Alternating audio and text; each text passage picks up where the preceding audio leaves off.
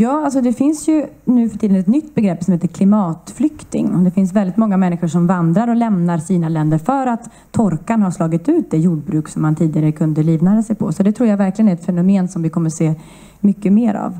Ehm, jag hör ju till dem också som, som verkligen välkomnar att de gröna frågorna nu tar en allt större plats även i, i Liberalerna.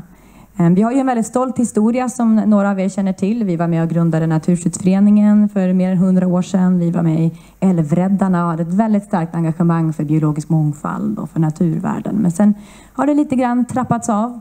Något som jag tror att tidigare politiker ångrar, i alla fall när man pratar med Bengt Westerberg och Ola Ullsten och så idag i alla fall brukar de säga ja, alltså miljöfrågorna, jag missade det när jag var partiledare.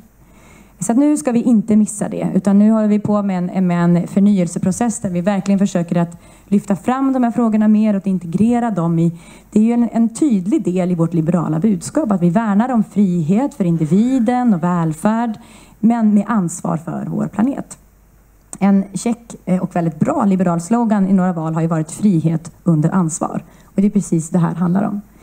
Ehm, så det vi nu driver eh, i riksdagen bland annat är ju principen om grön skatteväxling. En väldigt klassisk och väldigt bra regel där man betalar mer när man förorenar miljön, men man betalar mindre för arbete. Så att lägre inkomstskatter och högre miljöskatter. Så det tar ut sig. Konsumenten får inte något förändrat skattetryck, men vi lyckas förbättra miljön och samtidigt öka på konkurrenskraften. Det är någonting som tidigare också Miljöpartiet var förespråkare för, men nu har de övergått till något av en röd-röd skattechock istället. De har liksom släppt här, den här politiken. Så det är en, en sån princip som är väldigt viktig. Och vi som liberaler tror ju på marknadskrafterna. Vi tror på ekonomiska styrmedel för att förbättra miljön.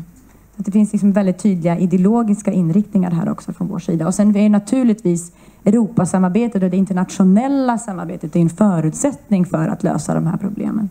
De är gränsöverskridande och där behöver vi gemensamma EU-regler och vi behöver också globala avtal. Och där har vi nu precis i, i onsdags röstade ju riksdagen för att godkänna det här klimatavtalet från Paris som är det första globala avtalet som finns just för klimatfrågan och för koldioxidreduktion.